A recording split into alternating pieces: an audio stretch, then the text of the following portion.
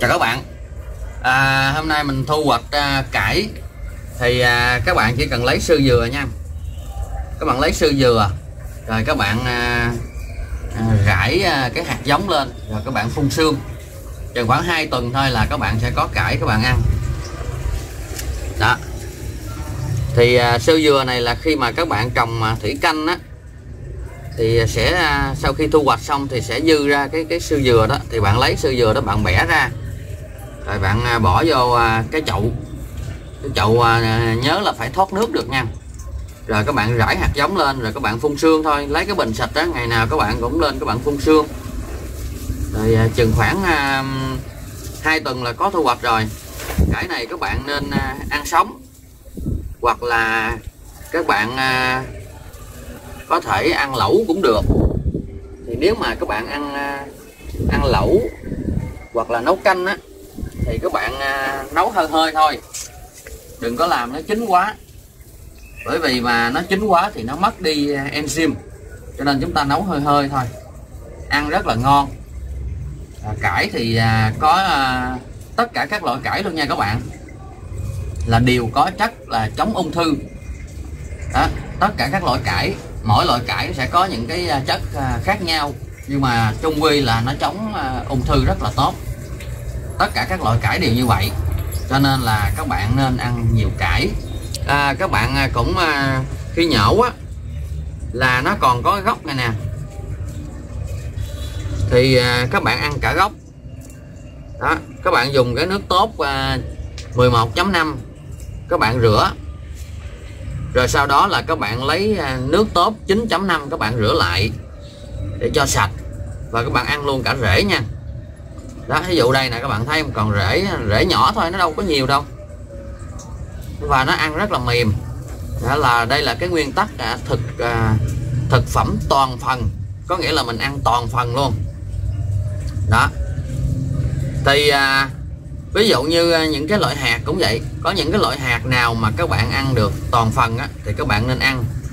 Ví dụ như đậu phộng mà các bạn ăn thì các bạn ăn luôn cả cái lụa. Chứ không có phải bỏ cái lụa ra rồi những cái hạt mà đương nhiên những hạt nào có thể ăn toàn phần nha. Thì chúng ta ăn toàn phần. Thì có những hạt cái vỏ nó cứ ngắt sao ăn. Thì à, chúng ta sẽ bỏ vỏ. Còn nếu ăn được toàn phần chúng ta ăn. Thì cải này cũng vậy. Là các bạn sẽ ăn luôn cái cái rễ này. Nó nhiều lắm các bạn thấy à, thấy con phỉnh vậy thôi chứ nhổ ra nãy giờ rất là nhiều. Đó. Thấy cái nào lớn thì nhổ ra. Còn không các bạn nhổ đại cũng được cái dàn à, rau à, thủy canh này các bạn thì à, mình trồng có nhiều cái loại xà lách. Thì tất cả đều là rau ăn sống hết. Thì trong đó có xà lách xanh xà lách tím. Thì xà lách tím á, là chống oxy hóa là nhiều hơn kể cả xà lách xanh. À, nó chống oxy hóa nhiều hơn. Thì ở trên cái dàn thủy canh này á, là mỗi một cái rọ như vậy á mà bạn trồng ít cây á, thì nó sẽ bung nở ra, nó sẽ phát triển rất là bự. Còn ví dụ mình trồng nhiều á, thì nó sẽ à, nhỏ nhỏ thôi. Mình trồng ví dụ như mình trồng à, năm, sáu cây hoặc là thậm chí cả chục cây vô một cái rọ đó, thì nó sẽ không có lớn. Mà bạn muốn lớn lá bự thì bạn trồng cây thôi. Ví dụ như bạn thấy cái bụi này, là các bạn thấy là nó nó có một cây ha, hoặc là như hai cây thôi.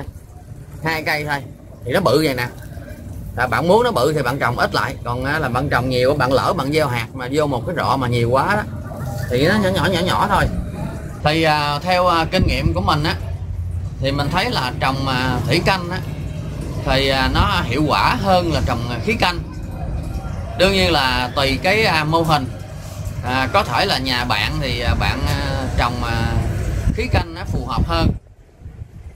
Đó nhưng mà mình à, mình trồng thì mình thấy là thủy canh nó dễ à, chăm sóc hơn và cây nó ít bị chết.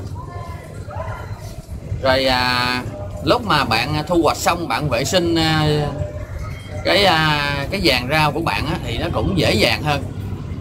Và cái à, lượng nước à, được à, bơm vào trong cái dàn à, thủy canh á thì nó đều. Còn à, cái à, cái canh á là lỡ như khi mà bạn không kiểm tra mà nó có bị sự cố gì đó mà nó bị ngãn thì nhiều khi cây nó bị chết nhiều lắm. Đó nhưng mà cũng tùy. Đó là bạn cứ thử đi. Biết đâu nhiều khi bạn trồng thủy canh lại à, là hiệu quả hơn thì sao? Đó thì đây chỉ là cái kinh nghiệm cá nhân là mình thích trồng mà thủy canh hơn.